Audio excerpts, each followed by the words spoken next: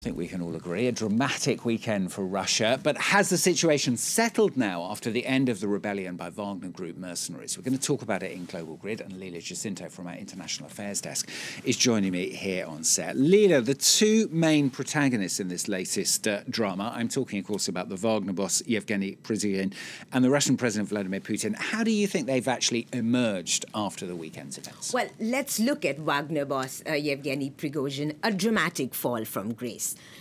publicly, no question about that. Uh, but you know, there's there's a nuance to what happened uh, over here.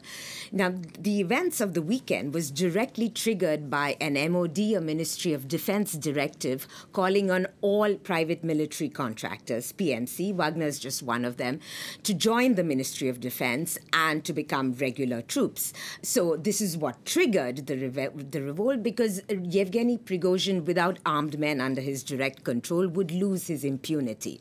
And so he called for this revolt. The nuances here is that Yevgeny never really targeted Russian President Vladimir Putin. He targeted the top brass. And even when he marched on Moscow, he was careful to call it a march for justice. What this was was really a call, an attempt for uh, Russian President Vladimir Putin to side with, Prigo, uh, with Prigozhin against these Russian uh, military brass. That didn't happen, of course. Putin called him a traitor.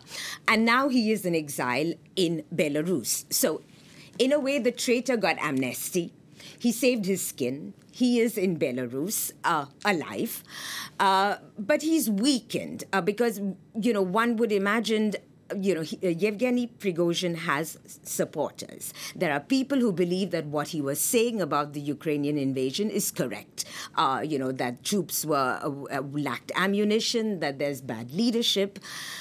But he's not going to have the kind of access to social media like he did uh, when he was in Ukraine and Russia. Because if he's in Belarus, Belarusian President uh, Lukashenko runs a very tight ship.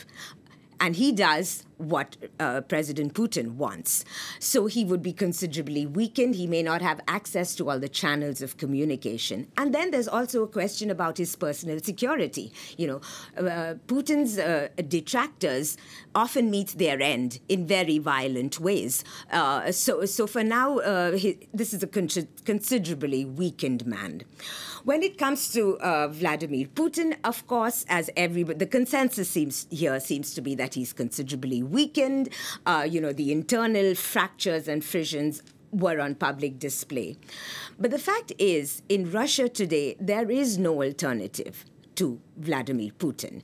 And when Prigozhin put out his call for a revolt, what he was also doing was calling on the Russian elites in the security establishment to get on board with him. That did not happen.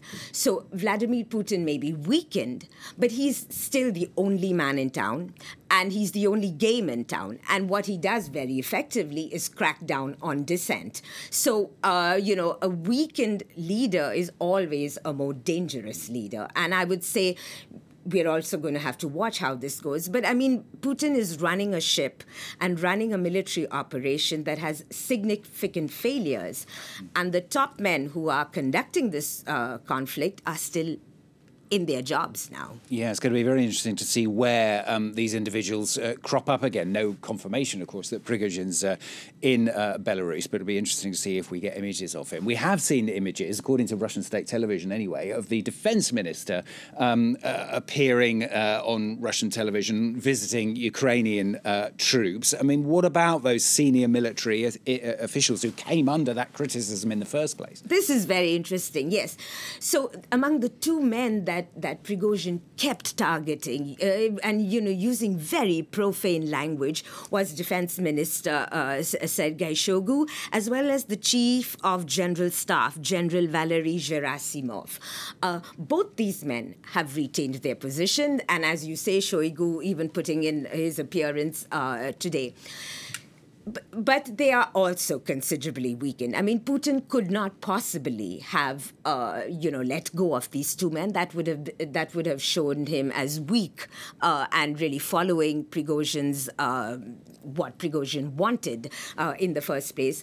But as this, you know, a lot of this also depends on how the Ukraine war uh, carries on. You know, if it continues in this way, long dragging, very many losses, there, there, you know, there are people, as I said, who who who have taken on board what Prigozhin has said, uh, and they have taken on board his message that these two men are the ones who are responsible for the mess, not Vladimir Putin. So a lot of analysts think that they have their jobs for now, but it it would be a couple of months before they would be fired, or you know they they really take the blame for what is happening on the battlefield if things go sour. Mm. And what about the Wagner Group? Where does it leave that? Weakened. There's no question about that. I mean, the Wagner Group was getting its funding primarily from the extraction industries in Africa, in Central African Republic, Sudan, and Mali, uh, mainly gold and diamonds. Now, if the Kremlin cuts off, uh, you know, their resources, uh, it's very unlikely that uh, any of the, the leadership in, in any of these countries will, will continue to have security contracts with the Wagner Group. That will be cut. And then what would be interesting is, especially in the Sahel, if French military troops are ready to go back into the region. So, I mean, such, so many things happen in 48 hours, and we're going to see the repercussions of this in the weeks to come.